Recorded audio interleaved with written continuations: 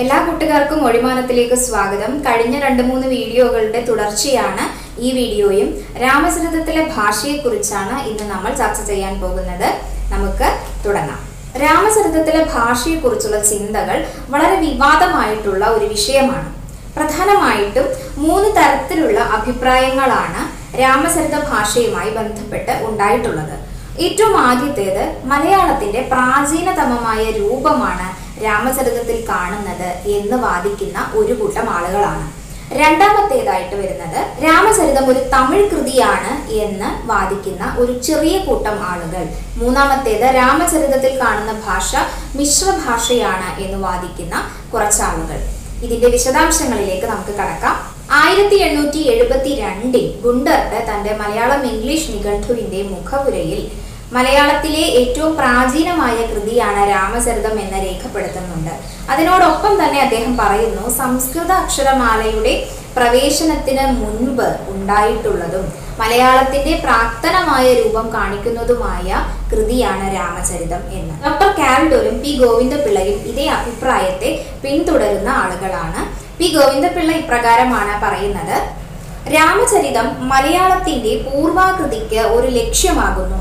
ഈ ഗ്രന്ഥം ഇപ്പോൾ മലയാളത്തിലുള്ള എല്ലാ ഗ്രന്ഥങ്ങളെക്കാളും പഴക്കമുള്ളതുമാകുന്നു. കൊല്ലവർഷ ആരംഭം മുതൽ അഞ്ഞൂറാം ആണ്ട് വരെ കരിന്തമിഴ് കാലമായിരുന്നുവെന്നും അതിന്റെ അവസാന ദശയിലാണ് രാമചരിതം എഴുതപ്പെട്ടിരിക്കാൻ ഇടയുള്ളത് എന്നുമാണ് കേരള പാണിനി അതായത് എ ആർ രാജരാജവർമ്മ അഭിപ്രായപ്പെടുന്നത്.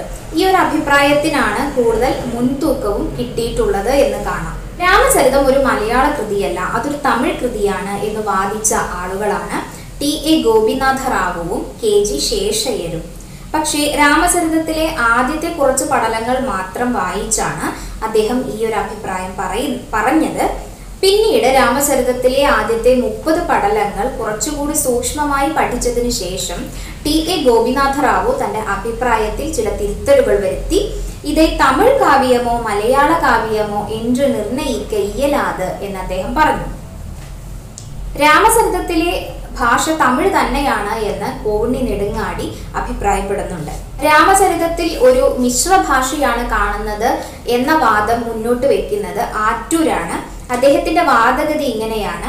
തിരുവിതാംകൂറിന്റെ തെക്കേ അറ്റം ഇന്നും തമിഴ് സംസാര ഭാഷയായിട്ടുള്ള ഒരു ഭൂവിഭാഗമാണ്. മലയാള പ്രദേശത്തിന്റെയും തമിഴ് പ്രദേശത്തിന്റെയും ഇടയ്ക്ക് ഒരു ദ്വിഭാഷ സംസാരിക്കുന്ന ഒരു ഭൂവിഭാഗമുണ്ട്. അത് വടക്കോട്ട് തിരുവനന്തപുരം വരെയും വ്യാപിച്ചു നിൽക്കുന്നു.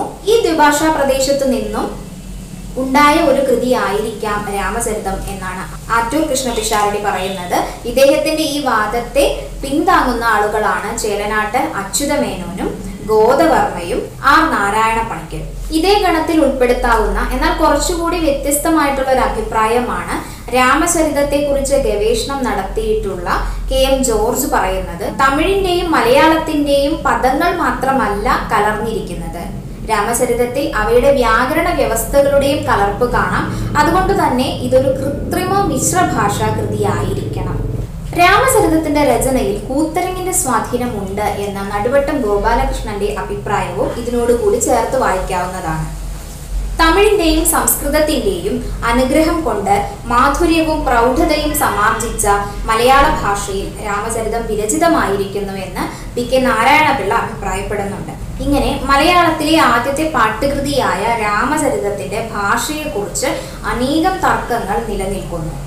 കഴിഞ്ഞ മൂന്നാൽ വീഡിയോകളിലായി നമ്മൾ പാട്ടുപ്രസ്ഥാനത്തെക്കുറിച്ചും പാട്ടുപ്രസ്ഥാനത്തിലെ ആദ്യ കൃതിയായ രാമചരിതത്തിന്റെ അടിസ്ഥാന വിവരങ്ങളെക്കുറിച്ചും അതിലെ കാലം കർത്താവ് ഭാഷ തുടങ്ങിയ വിവാദ വിഷയങ്ങളെക്കുറിച്ചും ഒക്കെ സംസാരിച്ചു കഴിഞ്ഞു.